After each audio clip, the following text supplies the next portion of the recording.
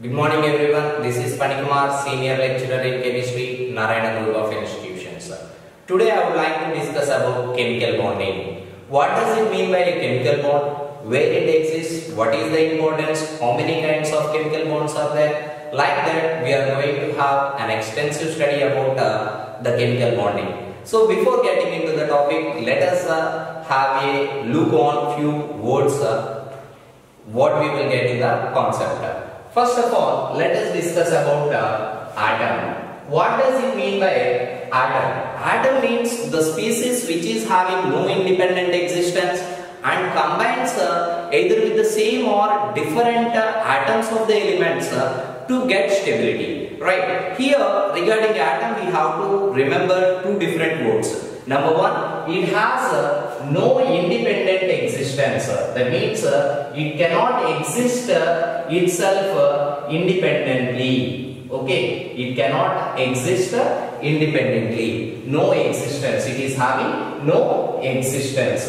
Second one, the atoms will combine one with another. The atoms will combine one with another either with the same or different atoms of the elements to form the molecule. By the formation of molecule, the atoms uh, attains stability. So, when either two or more than two atoms of the same or different elements combines one with another, they will form uh, molecules. So, molecule means nothing but the species which has independent existence in nature is simply called as a, a molecule. So what happens? In order to get stability, the atoms will combine one with another to form the molecule. Right. During the formation of molecule, what happens? Let me say I am having atom A and uh, atom B. Two different atoms are there. These two different atoms are joined together to form the molecule. When these two atoms are joined together, we will get molecule so that the atom A will get stability and the atom B will get stability. Simply let us take a generalization. What happens during the construction of uh, a house? Uh, different uh, bricks are laid one on another and uh, in order to join the bricks uh, simply cement is placed in between them. Here cement is used as an adhesive to hold uh, either two or more than two bricks uh, one with another in order to construct the house. Just like that, can we place cement in between two atoms A and B? We cannot place, we cannot hold the atoms. But what happens? Some invisible forces acts in between the atoms to help them firmly or to help them one with another. Those cementing substance are the forces of attraction which holds either two or more than two atoms together is simply called as a chemical bonding. What does it mean by a chemical bond? The cementing force acting between the atoms uh, to hold them together to form the molecule is simply called as a chemical bonding. How many types of chemical bonds are there? Here simply we can say we are having uh, four types of major chemical bonds. Number one, we can say ionic bond. First kind of the chemical bond is uh, ionic bond. Second kind of the chemical bond is uh, covalent bond. Third kind of the chemical bond is uh, uh, metallic bond. And fourth kind of the chemical bond is uh, coordinate covalent bond. Fourth kind of the chemical bond is a coordinate covalent bond. Along with these four kinds of the chemical bondings, we are having uh, hydrogen bonding and van der Waals force of attractions, London dispersion forces. Like that, we are having uh, several kinds of the chemical bondings. But in this chapter, we are going to know mainly about ionic bond, covalent bond, coordinate covalent bond, and the fifth one is uh, hydrogen bonding. We are going to discuss about uh, these five different types of the chemical bonds. Before getting into the topic, let's have an idea and let us define these different kinds of the chemical bonds uh, individually. What does it mean by ionic bond? As the name indicates, ionic bond is known to exist in between ions. Simply ionic bond is known to exist in between ions. Simply if I want to define the ionic bond, the electrostatic forces of attraction present between two oppositely charged ions is simply called as a ionic bond. What does it mean by ionic bond? The electrostatic forces of attraction existing in between two oppositely charged ions. Let us take an example. NaCl over here. Here, NaCl molecule ionic bond is present in between Na plus ion cation and Cl minus ion anion. So here Na plus sodium is having a, a positive charge. Chlorine is having a, a negative charge. In between the positive charge and the negative charge, because of the opposite charges, few forces of attractions arises. Those forces of attractions arise in between two oppositely charged ions is simply called as an ionic bond.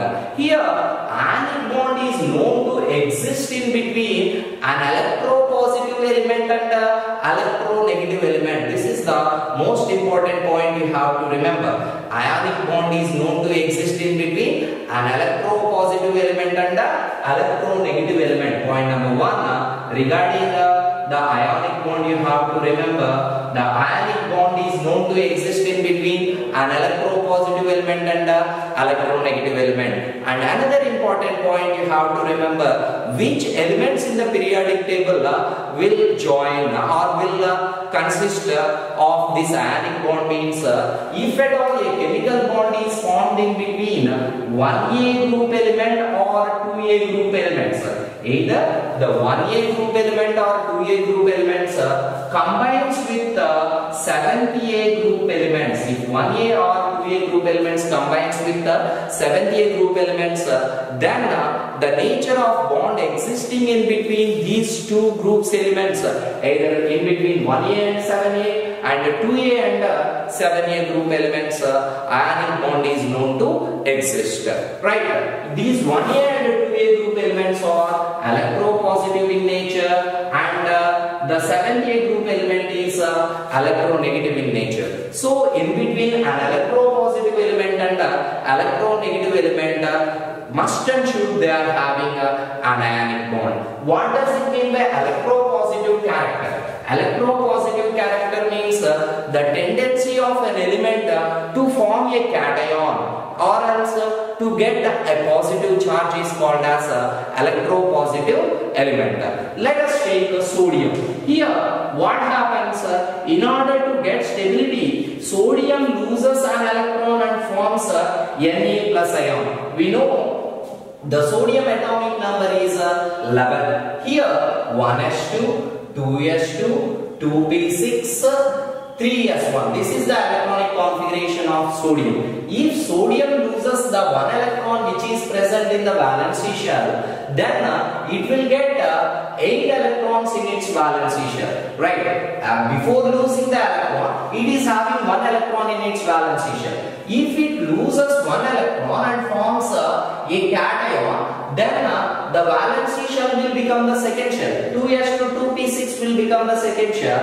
and that will become the valency shell. Thereby, by having 8 electrons in its uh, valency shell, it will get the stability. So, such a kind of elements which are having the ability to lose the electron and getting converted into cation to get a configuration in their valency shell are simply called as uh, electropositive elements. Let me take uh, chlorine. We know that chlorine belongs to 7A group. That means its valency shell electronic configuration is uh, NS2 NP5. Here in its valency shell, how many electrons are there? 7 electrons. As I discussed in the case of uh, sodium, what I told, uh, every element tries to attain 8 electrons in its valency shell to get uh, stability. Here, sodium is having 1 electron excess to get the octet configuration. So, it lost the electron. But here, chlorine is having 7 electrons in its valence shell. In order to get the stability, what happens simply? That will take an electron from the sodium. When this chlorine takes an electron from the sodium, that will be converted into chloride ion. that as it takes one electron, its valence shell electronic configuration will become NS2 and P6. Uh, it got 8 electrons in its valence shell, thereby it attains stability. So these are the preliminary points you have to remember regarding the ionic bond. Next, what does it mean by a covalent bond? Covalent bond is nothing but the mutual, the chemical bond which is formed or else uh, the force of attractions present between atoms uh, which are formed by the mutual sharing of an electron pair. Here, just like that, here we can uh, provide one example H2 or Cl2 or F2 like this. Here, what happens? This hydrogen electronic configuration is 1s1 and chlorine electronic configuration is NS2 and P5. Just like that, fluorine is also having NS2 and P5 electronic configuration in its valence shell. Here what happens means we will discuss about the uh, the hydrogen uh, while we discuss about uh, the covalent bond in detail. What happens uh, in the case of chlorine? Chlorine is having uh, 7 electrons in its valence shell. Let me represent the each electron using a dot. So here it is having 7 electrons. So I just place uh, 7 dots around uh, the chlorine. Just like that. Let me take the second chlorine atom. 7 dots are placed around the chlorine. Here, this chlorine is having deficiency of 1 electron and this chlorine is having deficiency of 1 electron. So what happens? This uh, one odd electron which is present separately is mutually shared. So by sharing these two electrons what happens? Uh, these two electrons belongs to both the atoms. These two electrons belongs to both the atoms. Then it will get 8 electrons in this valency shell. It will get 8 electrons in the valency shell. Thereby it attains stability. Right. Why the atoms having 8 electrons in the valency shell or having stability? That we are going to discuss in a few minutes. Right. Just like that. Here the bond which is formed by the mutual sharing of an electron pair simply the bond which is formed by the mutual sharing of an electron pair is simply called as a covalent bond. And uh, for the formation of a chemical bond we need uh, two electrons here the two electrons required for the formation of a covalent bond are contributed one each by the elements this chlorine will contribute one electron this chlorine will contribute one electron and these two electrons are mutually shared by both the atoms. Such a kind of bond which is formed by mutual sharing of an electron is simply called as a covalent bond and we have to remember that here I told the, the ionic bond is known to exist in between two electropositive elements and the electropositive and the electronegative element. Here the covalent bond is known to exist in between two different uh, electronegative elements uh, exception for the hydrogen. Right. In the same way, metallic bond. This is uh, mostly known uh, in the case of alloys. Here what happens? As the metals are having some excess electrons, uh, what they will do simply if I want to define a metal, metal is nothing but the element which is having the tendency to lose the electron easily is called as a, a metal. So when uh, a number of metal atoms are taken together or when they bond together, simply the excess of electrons are donated by the metal atoms. Like this, I have taken uh, these uh, four different metals. Whatever the excess of electrons are having by these metal atoms are donated into its uh, surroundings.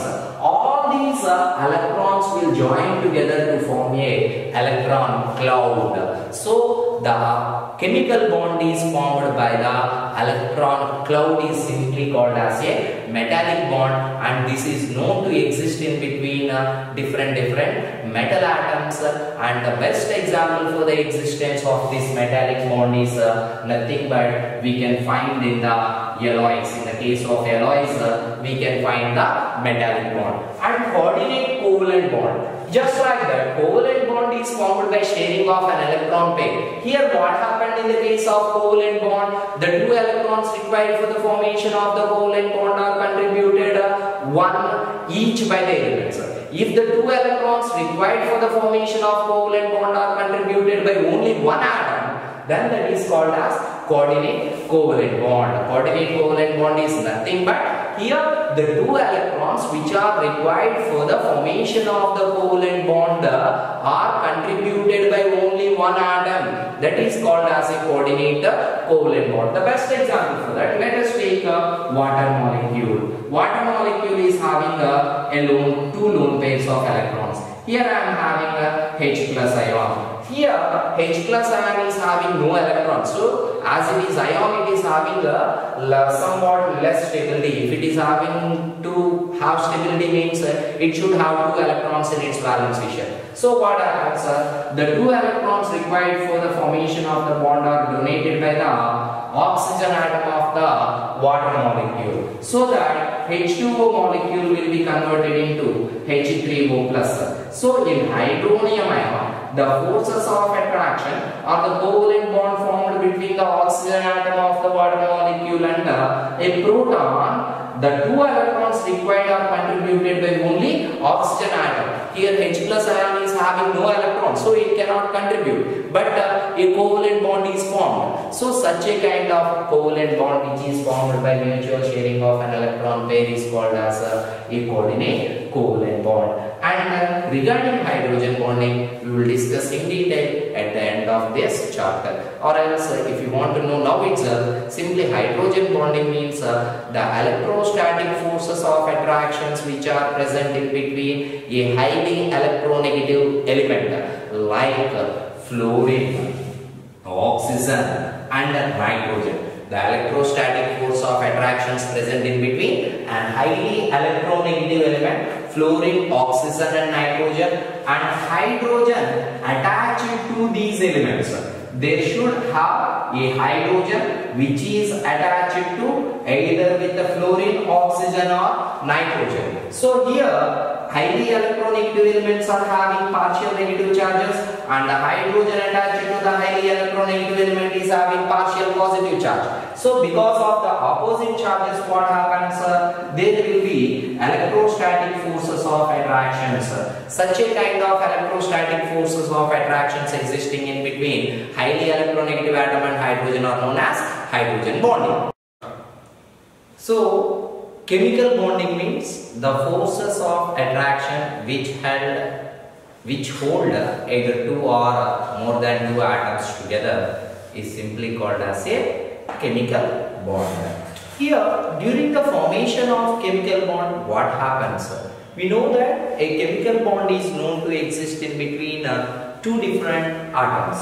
Let me take atom A and let me take atom B. We know that every atom is having nucleus at its center and in the extranuclear part uh, we are having negatively charged electrons are present in the extranuclear part. So what happens?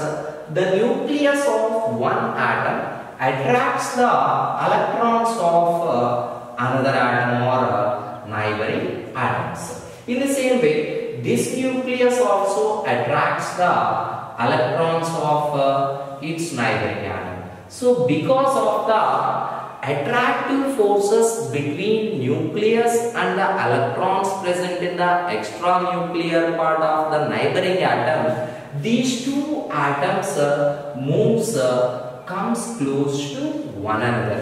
Up to what distance they will approach each other means uh, nothing but till the distance or, or the ideal distance at which uh, the repulsive forces operates in between the nuclei of both the atoms and electrons of both the atoms. So, the atoms will come close to one another until the repulsive forces among the nucleus and the electrons and uh, attractive forces uh, between the nucleus and the electrons. So the chemical bond is simply known to exist at such a place where the attractive forces are equal to the repulsive forces. So at chemical bond what happens? The magnitude of the attractive forces is equal to the magnitude of the repulsive forces. The atoms cannot approach much more than that uh, distance. If the atoms comes close than that distance, what happens? The repulsive forces uh, uh, dominates the attractive forces uh, and the atoms will be separated from one another. So this is the condition of the formation of a chemical bond. As we discussed earlier, there are different kinds of the chemical bonds. We are going to discuss about the covalent bond here. The first systematic theory about the formation of a chemical bond is simply given by the Kossel and Lewis. So Kossel and Lewis proposed the first theory regarding the formation of these molecules from the atoms. This Kossel-Lewis theory is also known as a electrovalent theory. Kossel-Lewis theory is also known as a electrovalent theory. Kossel-Lewis theory is also known as electrovalent theory. And this Kossel-Lewis theory is based on the Bohr's atomic model. Kossel-Lewis theory is uh, based on the Bohr's atomic model. Based on the Bohr's atomic model, the formation of the molecules uh, is uh, uh, explained by the uh, Kossel and Lewis uh, based on the Bohr's atomic model. This Kossel explained the formation of the ionic bond and uh, Lewis explained the formation of the covalent bond. The formation of the covalent bond is explained by the Lewis. Lewis theory. Lewis formulated either duplet or octet rule to explain the formation and the stability of the covalent molecule. What he did? Lewis explained or he formulated either duplet or octet rule. Duplet rule or octet uh, rule to explain the formation and the stability of the covalent molecules. Lewis theory majorly based on the stability of the molecule. So what does it mean by duplet rule and what does it mean by octet rule? Nothing but duplet means the phenomenon of the molecules having NS2 electronic configuration in their valency shell. The phenomenon of the molecules having NS2 electronic configuration in their valency shell is simply called as a duplet rule. And the phenomenon of the molecules uh, having NS2 NP6 electronic configuration in their valence shell is called as octet rule. Duplet rule means 2. Octet rule means having 8 electrons in their valence shell uh, is called as octet rule. So what happens uh, during the formation of a covalent molecule, during the formation of a covalent molecule, every atom tries to attain either 2 electrons or 8 electrons uh, in their valency shell to attain the stability just like the inert gases. We know that all the inert gases are stable in nature. Why they are having stability? Nothing but because they are having completely filled up valency shell. In the same way, every atom or every element uh, tries to attain the 8 electrons that means uh, completely filled valency shell uh, by that they will try to attain the stability. But here for the octet rule we are having some exceptions. What are the exceptions to the octet rule? What are exceptions to the octet rule means uh, nothing but here after the formation of a molecule few of the atoms uh, may have less than uh, 8 electrons in their valency shell. So what happens? First number number one exception is uh, incomplete octet. Some of the molecules might have incomplete octet. Few of the molecules may have incomplete octet. What does it mean by incomplete octet? Octet means having 8 electrons.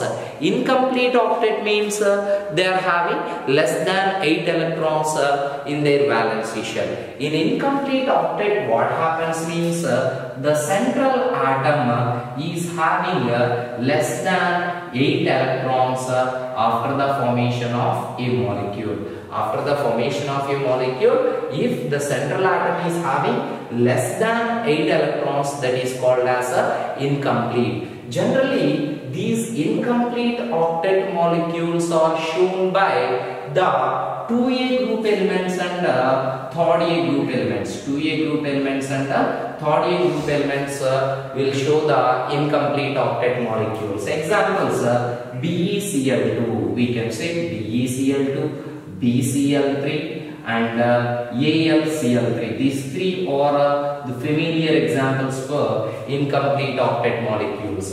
So here in BeCl2 molecule what happens? Uh, Be this side one Cl, this side another Cl. So here one bond, here one bond. Totally it is having two covalent bonds. So this is having only four electrons in its valency shell.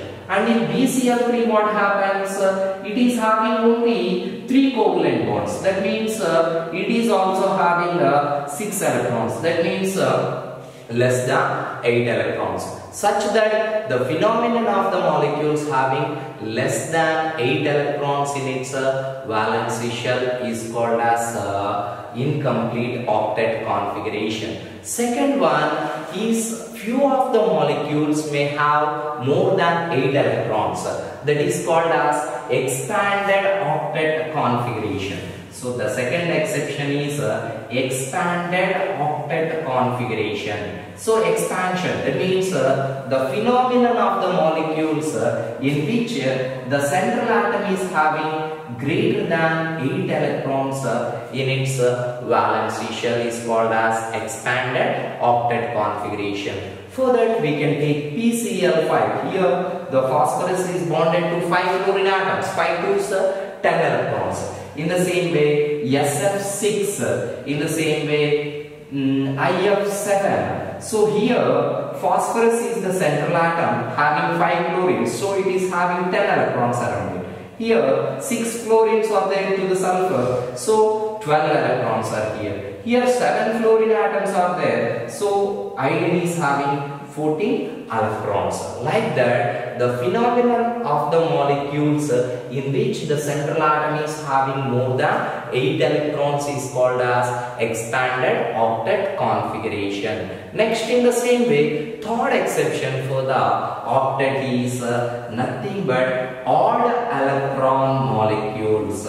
So here what happens? The central atom is not having uh, 8 electrons. The valency shell electron number in the central atom is uh, not equal to 8 and uh, they are having a odd number of electrons. That means uh, that is having an unpaired electron. That is having an unpaired electron in its uh, valency shell. And the fourth exception is uh, cations. Few of the transition metal cations uh, are also not having a octet configuration example will be ferrous ion and ferric ion and nickel Na plus 2 and cuprous ion Cu plus 2. So Fe plus 3 and Fe plus 2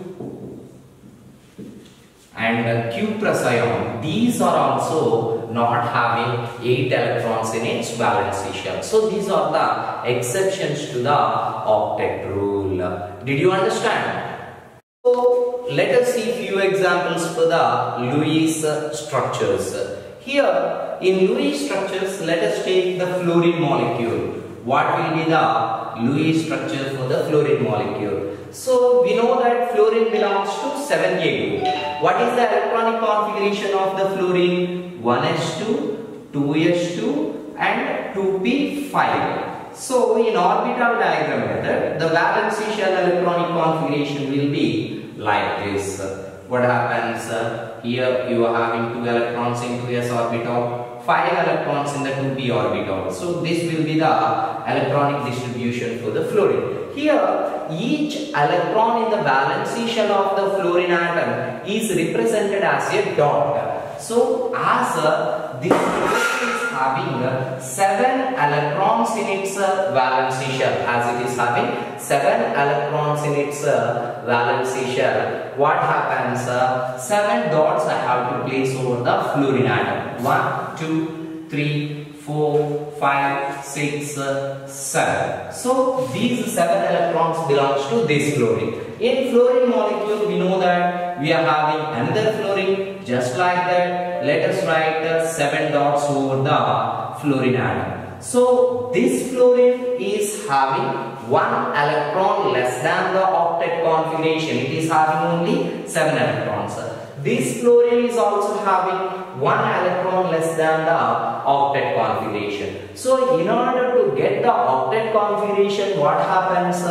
This fluorine atom captures the electron of the adjacent molecule and this fluorine atom also takes the electron of the adjacent molecule. So here the two electrons which are present at the intersecting point at the intersecting uh, place what happens uh, these two electrons belongs to this fluorine as well as to this uh, fluorine. So here six electrons as these two are belonging to this fluorine 8 will become the valence shell number of electrons.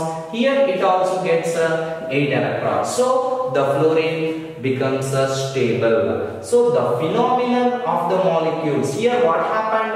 Actually this electron belongs to this fluorine and this electron belongs to this fluorine. But these two fluorine atoms in order to attain stability mutually they share the unpaired electron so that they tries to attain the stability. So simply we can write the fluorine molecule like this. So these two shared pair of electrons are represented as a line which implies a covalent bond between two fluorine atoms.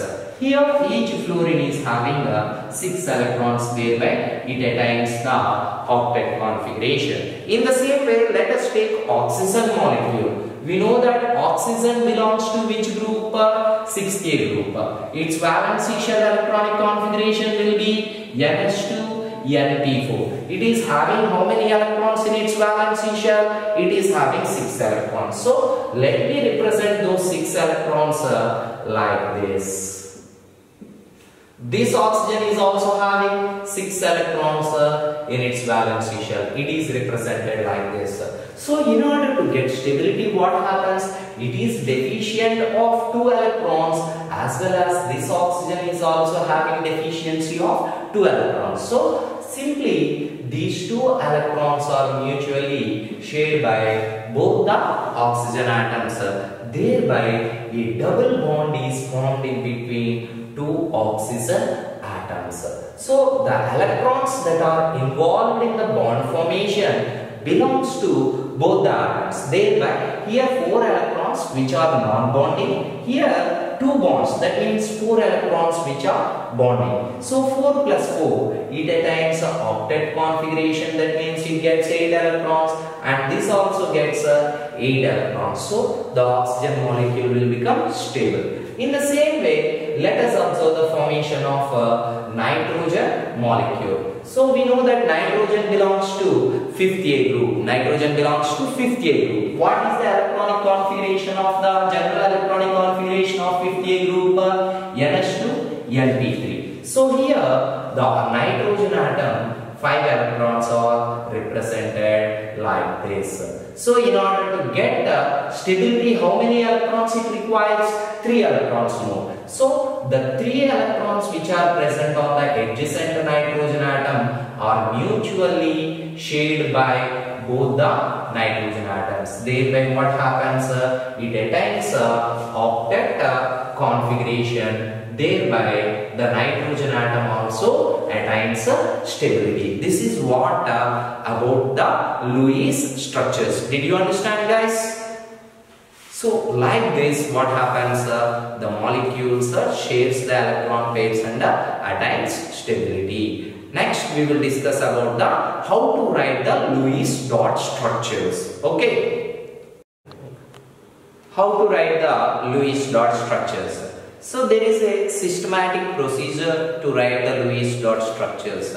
So let us explain or let us have a look on the process of writing the Lewis dot structure for the nitrate ion. So here you are having the systematic process. I will explain you clearly. Here I would like to write the Lewis dot structure for the nitrate ion. So before writing the Lewis dot structure, what we have to do means uh, you have to calculate the total number of valency electrons present in all the atoms of the molecule. So here what happens? We are having one nitrogen and three oxygen atoms are there. So in all the atoms we have to count the total number of valency electrons present in this molecule. That is the first step. So one nitrogen is there. Nitrogen belongs to which group? 50A group. So it is having 5 valency electrons. So B is equal to 5 plus and uh, 3 oxygen atoms. We know oxygen belongs to which group? 6A group. So 6 into 3 atoms. Here minus 1 charge is there. For anion, the total number of valency electrons is equal to the number of electrons present in the valency shell of all the atoms involved in that molecule plus uh, magnitude of the charge. If negative charge is there, plus magnitude of the charge. If cation is given, minus magnitude of the charge. So 5 into 5 plus 6 into 3 as you are having minus 1 so you just use plus 1 over here so 18 plus 1 19 plus 5 24 uh, valency electrons should be distributed equally to the all the atoms involved in that molecule formation. Next, we have to decide the central atom. How we have to decide the central atom means uh, we can have three different rules. One is less electronegative atom is present in that molecule and second one is element with the more number of bonds and third one is a larger atom. Any one of these parameter is taken to decide the central atom. So here in the nitrate ion we know that nitrogen is less electronegative and it is bonded to three other oxygen atoms. So the central atom will be the nitrogen atom. The central atom will be the nitrogen atom. And after deciding the nitrogen atom, you just write the surrounding atoms, remaining atoms at equal distances surrounding the nitrogen atom. So what happens? Here one oxygen atom, here one oxygen atom, here one oxygen atom. So the nitrogen will become the central atom and the oxygen atoms belongs the belonging to the surrounding atoms. So central atom is represented by Ca and surrounding atoms are represented by Sa. Next what you have to do? For these four atoms, you have to distribute equally the 24 electrons. After writing the central atom and surrounding atoms, first join the central atom and surrounding atom using a sigma bond or using a, a line. So that means uh, two electrons are shared in between this nitrogen and oxygen, two electrons are shared in between this nitrogen and oxygen, two electrons are shared in between this nitrogen and oxygen. So like this, uh, here I just distributed uh, 6 electrons. So minus 6. How many electrons I am having more? Uh, 18 electrons are there. How many electrons are there? 18 electrons. Total 24 electrons are there. Out of that, 6 electrons are distributed between the atoms. So you are having 18 more electrons. The remaining electrons uh, should be supplied or distributed as lone pairs uh, and uh, first to the surrounding atoms. First you have to distribute the excess number of electrons to the surrounding atoms uh, and then to the central atom in such a way to get the octet configuration. So what happens? This oxygen is having only two electrons over here. In order to get uh, stability, how many electrons it requires more? Uh, as per octet rule, it requires uh, six more electrons. So distribute six electrons. So here two plus uh, 3 lone pairs, totally 6 electrons, it got octet configuration. In the same way, 6 electrons to this oxygen atom, this also got the octet configuration.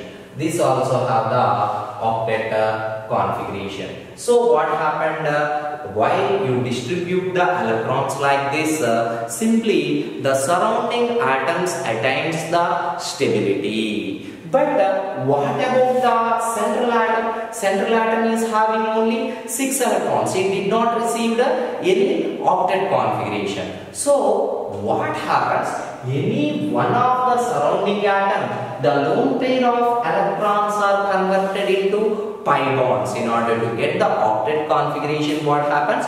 We have to convert the lone pair of electrons into the pi bonds then uh, the central atom also attains the stability. How to find the number of pi bonds present in a molecule? So here the number of pi bonds is represented by P. The number of calculated by the formula 6n plus 2 minus V. Here n means uh, total number of atoms involved in the formation of that molecule. So here you are having 4 atoms, 1 nitrogen and 3 oxygen atoms. So 6 into 4 plus 2 minus how many valency electrons are there? 24.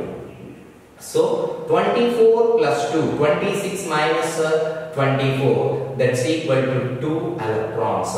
So 2 electrons means uh, 1 pi bond. So this uh, nitrate ion is having a 1 pi bond. This nitrate ion is having 1 pi bond. So we can write its uh, structure like this. Nitrogen, double bonded oxygen, 1 pi bond is there. Oxygen, oxygen. As one lone pair is uh, converted into a pi bond it is having only two lone pairs and here you are having three lone pair of electrons. Now you can check this oxygen atom is having uh, four electrons as lone pairs four electrons in the bond pairs. Octet configuration is satisfied. Nitrogen four bonds octet configuration is satisfied. Here 6 plus 2 octet configuration is satisfied. Here it is also octet configuration is satisfied. But uh, what about this negative charge present here? So that charge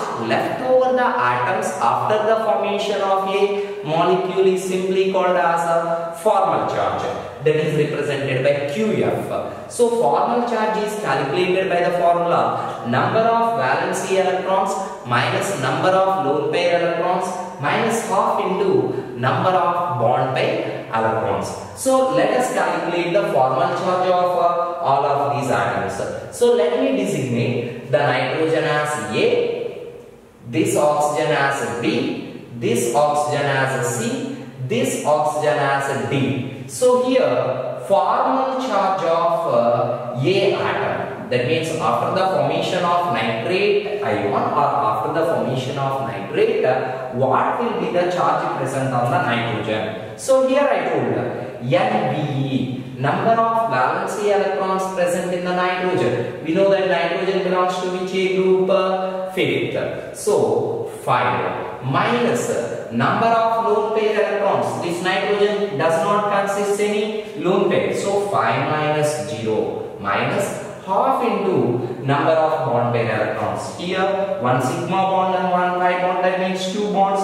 Here this is the third, this is the fourth bond. So 4 twos are 8. So you will get uh, plus 1 charge over here. So after the formation of nitrate ion, the nitrogen atom carries a unique positive charge. And next, QF, formal charge on the B, this oxygen atom. We know that oxygen belongs to 6A group, so number of valency electrons is equal to 6 uh, minus number of lone pair electrons. It is having how many lone pair electrons? Uh, 4 lone pair electrons. 6 minus 4 minus half into next what happened? Uh, it is having uh, 2 bonds, so 4, 2. So that's equal to 0. So the charge on this oxygen atom after the formation of nitrate ion is equal to 0. Next, uh, C and uh, D oxygen atoms are in the similar environment. Both are same. So formal charge on C atom or D atom both will be same. Oxygen belongs to 6K group, so 6 minus number of lone pair electrons here 1, 2, 3, 4, 5, 6. Here also 6. 6 minus 6 minus half into there is only one bond, so 2 electrons, so minus 1. So this uh, oxygen atoms will carry a unique negative charge. This is what about the formal charge like this we have to write the Lewis dot structures. Here one question might have been arised. What happened means only the pi bond might present here why it should not be here. So that can be present. What happens? Simply if the pi bond shifts over here, one of the lone pair of electron will be shifted to here. Then what happens? Nitrogen oxygen and three lone pair of electrons over here. Here you will get a pi bond and this oxygen atom will carry a two lone pair of electrons and this is common. In the same way, it might happen like this. If this lone pi bond shifts over here, this lone pair of electrons may be relocated. Then what happens? Oxygen, this is having three lone pair of electrons and here you are having a double bond of pi bond and here you are having uh, two lone pair of electrons. Here this is having zero charge, these two are having uni-negative charge.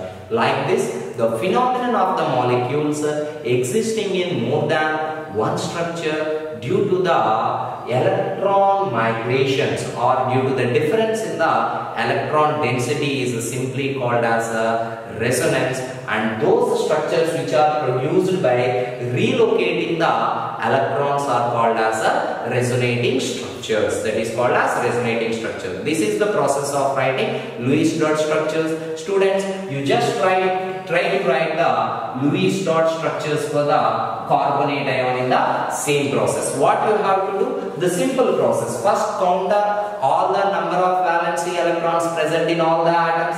Next decide the central atom. Less electronegative atom or the element with more number of bonds or the larger atom next write the central atom at the center and the remaining atoms surrounding it at equal distances and then join the central atom and surrounding atoms using a bond and then remaining electrons uh, distribute as the lone pairs to the surrounding atoms first and then to the central atom. If the octet is not satisfied then what you have to do? One of the lone pair is converted into pi bond the number of pi bonds in the molecule is calculated by the formula 6n plus 2 minus uh, v here n means total number of atoms v means uh, total number of valency electrons and the charge left over the atoms after the formation of molecules is called as a formal charge. It is calculated by the formula number of valency electrons minus number of lone pair electrons minus uh, half into number of bond pair electrons. So using these systematic rules, you try to calculate uh, or you try to write the structure of carbonate ion. Is it okay?